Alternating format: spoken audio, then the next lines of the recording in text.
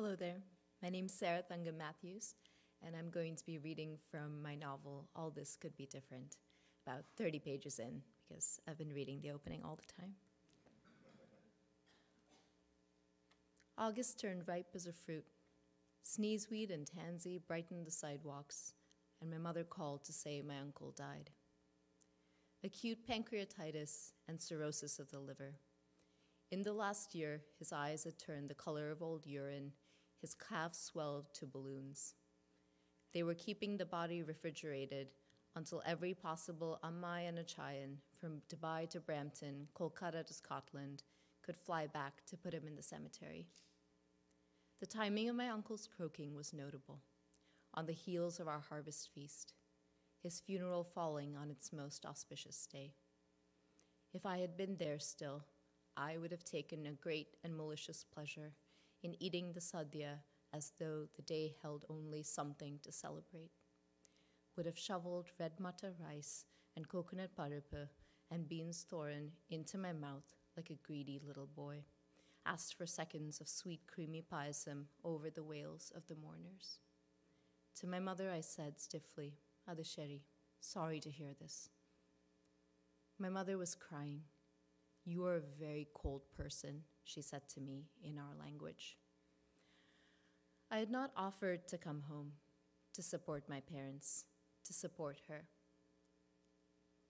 His whole life, my uncle had bullied her. Once in a drunken tantrum, he had slapped her in front of my father, who summarily threw him into the rhododendron bushes. After that, my uncle decided that I was a more strategic target. The memories tumbled back to me, rolled into the other like socks. My uncle waiting by the elementary school's iron gate. How I would run to him, a school bag flack, flapping up and down against my thin back. To the person who paid me the most attention, who laughed at my every joke, who said he loved me. A darting creature with huge eyes, Moonshine was, wispy hurricane of hair circling the bare eye of his scalp.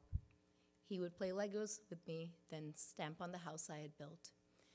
When, I was when he was especially jobless, he would take me on his long ambling walks and pinch my nipple hard if I dawdled. There were other things, and I did not for a second wish to, wish to dwell on them. And here my mother was, weeping for this useless man. In the background, I could hear the opening music of the Kannada serial my grandfather liked to watch from the bed. Thank God I was now far away from the people who had hurt or overlooked me, the neighbors and cousins who lionized my parents when they achieved a modicum of success and visibly scorned them when it had been taken away. I would never, if I could help it, live there again. Yes, I said acidly to my mother, you are correct, very astute of you. Once the phone went quiet, I felt a wicked pang. Thinking of my parents living two oceans away with their slackening bodies, their private burdens. In silence, I wiped the kitchen counters, wrung the rag out in the sink. Thank you.